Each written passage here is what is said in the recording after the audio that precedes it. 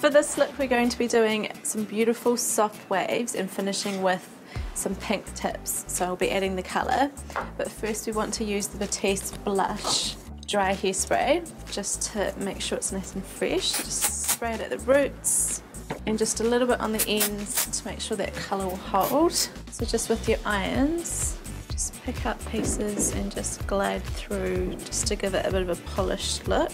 It's really simple. And you're only turning the irons halfway so you don't get a full curl, you're just getting that really soft wave. So once you've got your hair styled the way you want it, you can apply Kevin Murphy Colour Bug. So it can be quite messy, so you need to make sure you've got a towel. And what you want to do is just pick up the ends and push down and run it along.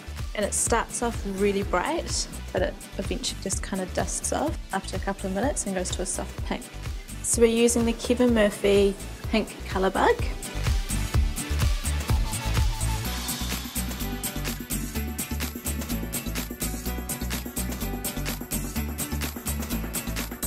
So you just want to run your hands through the bottom just to soften and blend it in. So there's no sharp lines of where you've put the colour. And it does wash off your hands really easily. but that is the pink tips done. For this one I thought I'd have fun with the pink hair and create a bit of a 90s look. So I've layered it up by putting a white t-shirt under the dress and then a denim jacket over the top.